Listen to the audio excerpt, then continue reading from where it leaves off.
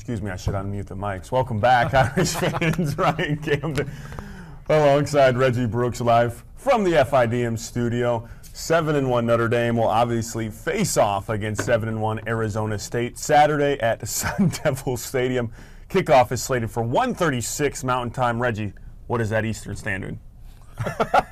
It's actually 3:30. 3:30. So it's, it's, it's a noon game, Yeah. or it's, it's a regular kick. I mean, it's nothing nothing too different.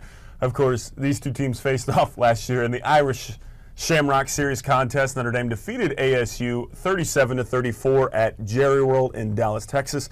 Notre Dame is actually 3 0 all time against the Devils with wins both at Notre Dame Stadium and Sun Devil Stadium. And then you see former Notre Dame coach Dan Devine actually coached at Arizona State hmm. 55 through 50. Did you know that?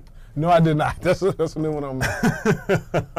of course, we, we mentioned it before the press conference. Players to watch. Reggie, defensively, the linebacking corps will be highlighted all game, really, by pundits and, and analysts. How important will Jaylon Smith be in this contest, calling plays, and really his relationship with Nyles Morgan? It's, it's going to be critical, and and it starts, you know, today. You know, as Coach Kelly was talking about, you know, they'll get get get in there, get to practice. They'll have a system that they'll work through, and I, again, I think it's going to be multiple guys being responsible for you know communicating. But Jaylon Smith will be that main, in my mind, that main conduit between the front seven and, and the back back four. Um, in terms of identifying coverages they need to be, blitzes, and making sure guys get lined up in, in the appropriate locations, and then just helping Nyles read, you know, read properly. You know, his athleticism is definitely going to help him. But it really comes back to the confidence level of Nyles Morgan to understand, okay, what his responsibilities are. So Jaylon Smith will be a key factor in helping him over those some of those bumps that you're going to have. I mean, you know, the big thing that really get, concerns me is can we keep up with the tempo, and that's going to be important for you know Jaylon to communicate to Nyles, hey, we got to we got to stay on, we got to stay after it, and keep him built up throughout the course of the game. You know, we keep talking that this is a huge opportunity for Morgan, which it is. Uh, Joe Schmidt will be back next year, but this is also a huge opportunity for Jaylon to say, hey, I can captain this defense, right? Well, he, he, he and that's the thing. Yeah, it's it's a you know kind of a give and take. Right. You know, he had a comfort level. He's just a sophomore, and this is the thing we, we tend to you know We you know, forget. s- forget. You know, we saw him last year and how how aggressive and how good he was as a player. I mean, this kid's ceiling is still going up, but he's just a sophomore.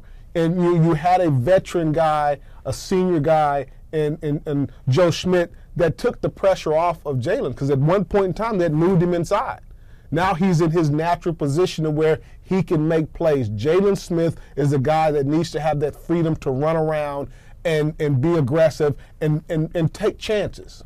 Once or twice a game, I'm constantly just blown away by by Jaylon's closing speed. It's it's it's magnificent. But offensively, let's keep an eye on one of my favorite players on this team, tight end Ben Koyack, the senior from Oil City, Pennsylvania, has two touchdowns on the year and is really starting to become a first-tier option for Golson. What kind of impact could he have on this game? You heard Coach Kelly talk about how he's played the most snaps of anyone on this team.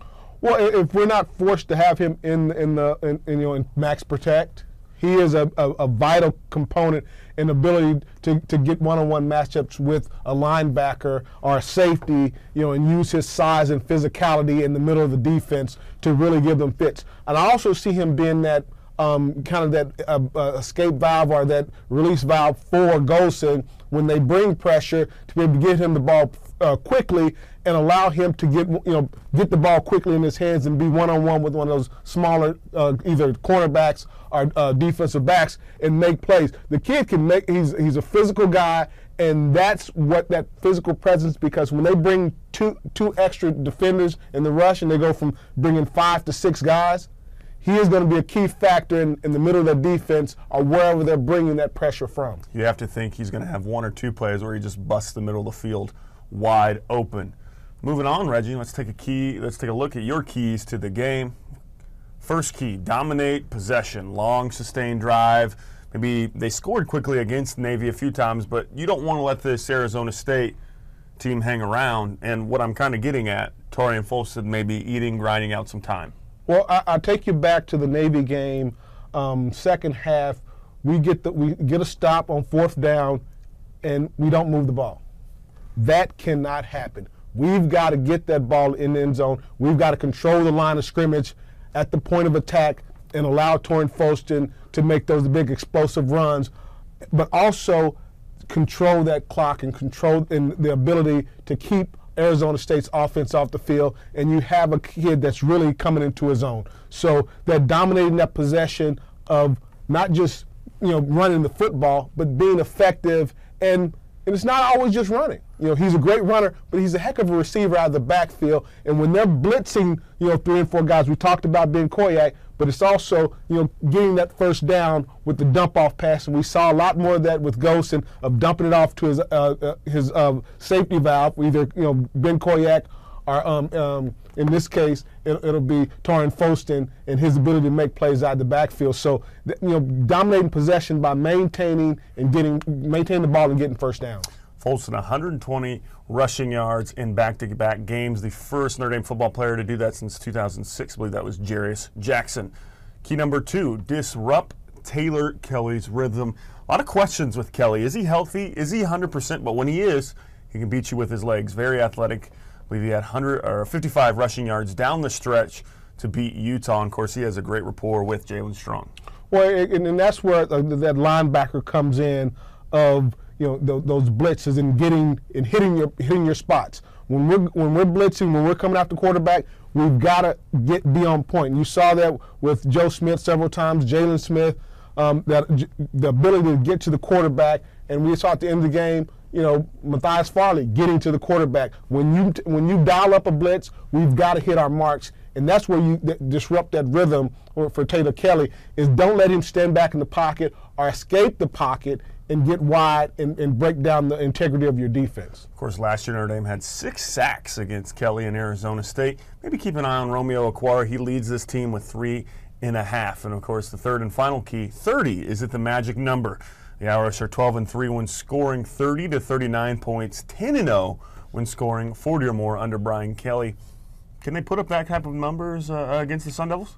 It's very, we're very, very capable. I mean, you look at this offense when we're clicking, we're putting points on the board. You know, 49 against Navy. Um, you know, we we hit 50. So we have the capability of bringing up points. And Arizona State's defense, because when they come to blitz and get pressure, if you pick it up, we have guys that can make big plays. So, you know, when we get in the red zone, when we get those opportunities, similar to, to Navy, when you have the chance to put points on the board, instead of putting three, we need to be putting six and seven points on the board uh, every opportunity we get. And we'll get a lot more opportunities against this uh, high paced uh, Arizona State uh, def- uh, defense. Taking advantage is the name of the game. Of course, the Irish coming into the contest with Arizona State averaging 35.4 points per game. That'll do it for us today. Remember, a ton of great Notre Dame football content right now on the website, Watch D, including what is an almost heartbreaking trick shot Monday tribute uh, to Joe Schmidt. You definitely want to want to take on that and maybe pull out the tissues. Of course, a lot of great stuff on uh, Watch this week. On the live sector, Brian Kelly Radio Show is back Thursday, followed by 2006 UCLA for the Thursday night classic broadcast. Uh, Quinn to Samardzija. You remember that, that game, Reggie? Play. That was a heck of a and you know you talk about two guys that had a rapport. Yeah. Those two guys really you know could dial it up, and you know uh, Jeff could go get the football. Current strength and conditioning assistant David Grimes. He might have a few stories about that game as well, and of course, huge ACC broadcasts this week as well as volleyball takes on Louisville and men's soccer. ACC tourney, ESPN3, huge ACC class. champions, men's yeah, soccer. First time ever. But they've yet to beat Virginia, so it's going to be a huge matchup. For Reggie Brooks, I'm Ryan Camden. Go Irish, beat Sun Devils.